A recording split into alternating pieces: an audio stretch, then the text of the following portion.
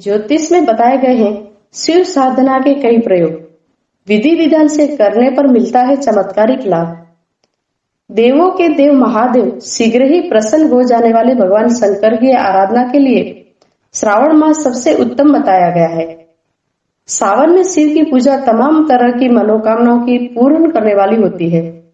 श्रावण मास में भगवान भोलेनाथ की पूजा न सिर्फ़ सिर्फ़ धार्मिक दृष्टि से बल्कि ज्योतिष दृष्टि से भी शुभ देने वाली होती है। तंत्र, मंत्र, यंत्र और ज्योतिष का उद्गम भगवान शिव के मुखारविंद से माना जाता है।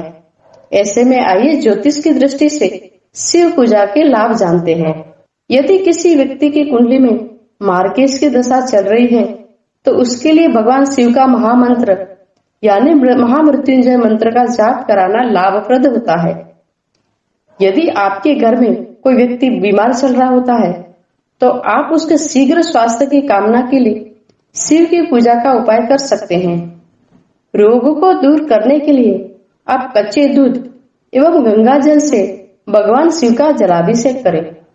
यदि आपकी कुंडली में काल सर्प योग है तो उसे दूर करने के लिए महाकालेश्वर त्रंबकेश्वर आदि स्थान पर शिव की विशेष पूजा करवाकर लाभ प्राप्त कर सकते हैं। यदि आपको हमेशा किसी शत्रु का भय बना रहता है तो उसे दूर करने के लिए इस सावन मास में सरसों के तेल से काले शिवलिंग का अभिषेक करें।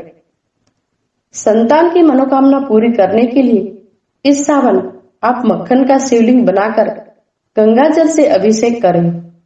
यदि आप आर्थिक रूप से परेशान चल रहे हैं तो आप इस सावन भगवान शिव के साथ माता लक्ष्मी की कृपा पाने के लिए स्फटिक के शिवलिंग की विशेष रूप से पूजा करें। यदि आप दीर्घायु होने की कामना रखते हैं तो आप श्रावण मास में गाय के घी से शिवलिंग का अभिषेक करें।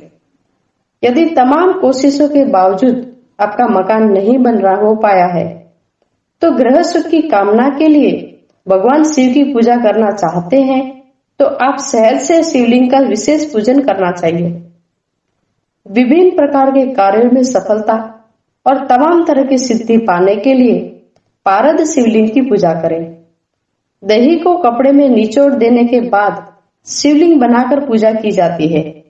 उससे भगवान शंकर से धन धान्य की प्राप्ति का आशीर्वाद मिलता है। दोस्तों, आपको हमारी ये जानकारी पसंद आई हो तो प्लीज़ लाइक, शेयर और सब्सक्राइब ज़रूर करें। धन्यवाद। आपका दिन शुभ हो।